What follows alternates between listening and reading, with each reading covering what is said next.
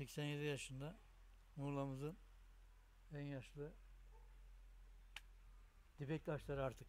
Yani sizler Benden yaşlılar da var. ama böyle çıkamıyorlar. He? Çıkamıyorlar. Çık- çıkamıyor da işte bu kadar bu kadar. Olsun olsun yani yatakta olup da ya, oğlunuz kızınız geliyor mu yani yardım bakmaya Bakıyorlar. bakıyorlardı maşallah. Var, da var. Emekliliğiniz nereden? Emekliliğimiz özel sektör. Özel sektör. Yücel Keresta'dan. Yücel Keresta maşallah. Ha. Erol Akçay vardı, babası ormancı vardı. Ha. Şuradaydı Erol Akçay'ın evi. Ormancı önce. Sattılar. Sattılar. Erol Akçay benim ilkokul arkadaşım. Ha? İlkokul arkadaşım Erol Akçay. Evet. Hamdi Gürsoy'un orada ben ben de çalıştım. Yücelen Hastanesi'nde. Evet. Hastane değildi o zaman parçacı dükkanında. 71'de.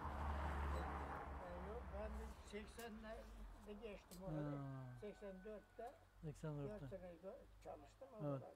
Evvelce Turgut Bey'in orada çalıştım. Turgut e, Topaloğlu'nun orada. Ha, Keres orada. orada çalıştım.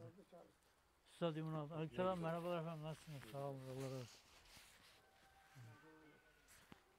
Turgut Topaloğlu'nun orada. Değer Topaloğlu oğlu. Evet. Orası en son zaten. Oradan ileride bir şey yoktu. Yoktu. Onlar. Şimdi He şimdi taşlı galiba. İşte oralar benim dedemin. Sen de dağda bir şey Cinciler tanır Cinciler yukarıda diyor. Cinciler tanır Tayyar Efendi. Eski bilmen lazım. Avukat, dava vekili. Cinciler Haceminler. Haceminler Mehmet Tayyar. Cinciler. Sabahlı geziyorsun. Evet. Doğru doğru. Sabahlı gene geliyorsun. Evet maşallah. Evet. İsminiz neydi bey amca?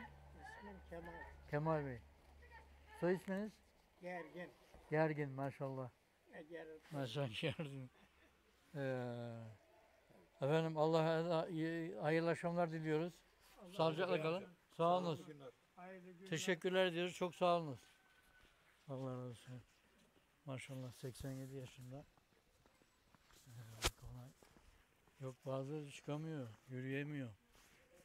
Yani